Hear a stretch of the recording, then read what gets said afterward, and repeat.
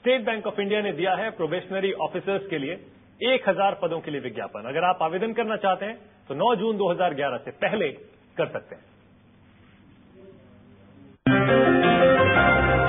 State bank of India में भर्ती होंगे एक हज़ार प्रोबेशनरी ऑफिसर। कौन कर सकता है आवेदन? ग्रेजुएशन कर चुके उम्मीदवार कर सकते हैं ऑनलाइन आवेदन। कैसे होगा सिलेक्शन? रिटर्न टेस्ट और इंटरव्यू के आधार पर होगा चयन। उम्र की सीमा? पीओ पद के लिए उम्र सीमा है 21 से 30 साल के बीच। कैसे करें आवेदन? आवेदन सिर्फ़ ऑनलाइन किया जा सकता है। ऑनलाइन आवेदन करने के लिए आप हमारी website news twenty four online dot com log on कर सकते हैं।